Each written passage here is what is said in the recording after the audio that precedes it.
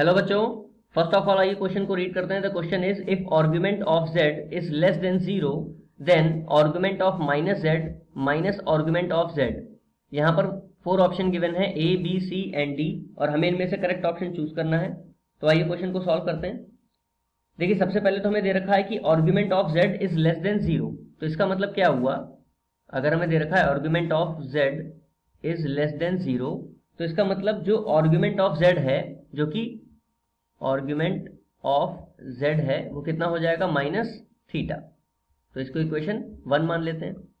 अब देखिए, हमें और बोला गया है कि ऑर्ग्यूमेंट ऑफ़ माइनस जेड की वैल्यू ठीक है? तो सबसे पहले तो हम जेड को लिख लेते हैं। जेड इक्वल टू क्या होगा? पोलर फॉर्म में आर कॉस थीटा की वैल्यू होगी minus theta plus i sine minus theta ठीक है?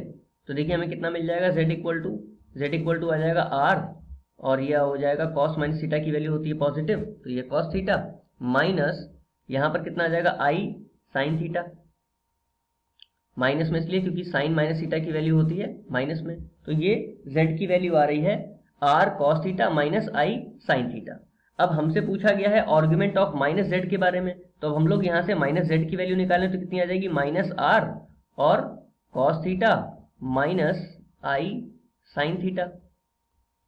इसको हम लोग लिख सकते हैं, अगर आर को माइनस के साइन को अंदर भेज दें तो यहाँ आ जाएगा minus cos theta plus i sine theta. ठीक है? अब देखिए, इसको हम लोग लिख लेंगे कॉस पाई माइनस थीटा, क्योंकि पाई माइनस थीटा की वैल्यू माइनस में होती है कॉस में। Plus i sine pi minus theta. तो ये वैल्यू हमें मिल रही है माइनस जेड की। यहाँ से अगर आर्ग्यूमेंट ऑफ़ माइनस जेड निकालें तो कितना आ जाएगा?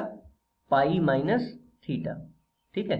अब देखिए क्वेश्चन में हमसे क्या बोला गया कि आर्ग्यूमेंट ऑफ़ माइनस जेड जो कि आ रहा है pi minus theta minus argument of Z जो कि कितना है इक्वेशन वन से?